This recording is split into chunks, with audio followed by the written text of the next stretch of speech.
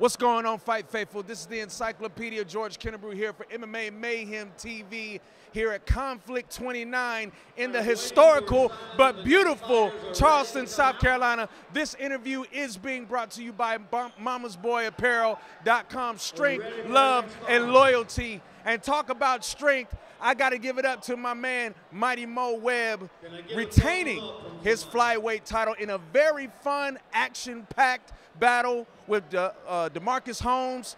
Took you straight to the limit. And I guess with this, Mo, is the gloves change, but the fight stays the same. Yeah, I mean, the gloves change, the fight stays the same. You know, no two fights are going to be the same. No two opponents are going to be the same. You got to adapt and overcome. You know, each opponent's got different strengths. You know, and this guy, he had a he had a, little, a lot of good things going on for him.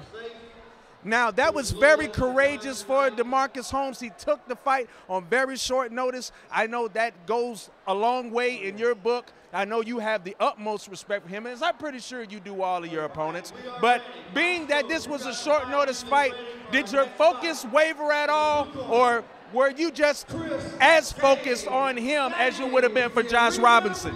Uh, I was definitely just as focused. Um, you know, with Josh Robinson, he kind of called me out, you know, saying I wouldn't stand up with him. So, I, you know, I had in my head making sure, you know, I'm going there to bang out. You know, when it got switched to DaMarcus Holmes, you know, I know he's a good wrestler and I know he likes to go for takedowns, you know, and I'm a good wrestler as well. So that's one of the things I kept in my mind was the fact that this guy's going to be shooting, this guy's going to be going for takedowns. So that was one of the things that I focused in my mind was getting that takedown defense on point.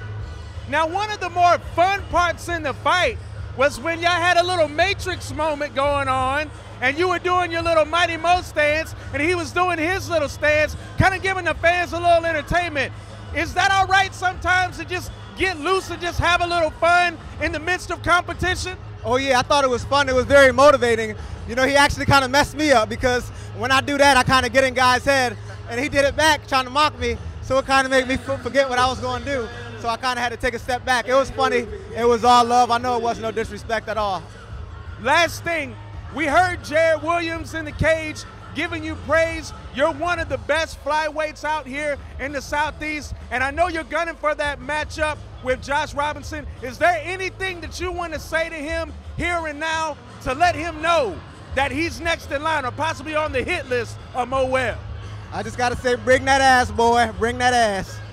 He said, bring that ass, and he said he will bring the whipping. Ladies and gentlemen, this interview has been brought to you by mamasboyapparel.com. Strength, love, and loyalty. And that's exactly what this man is all about. And he's mighty, and he's coming to catch out of the competition in his web. Page turn.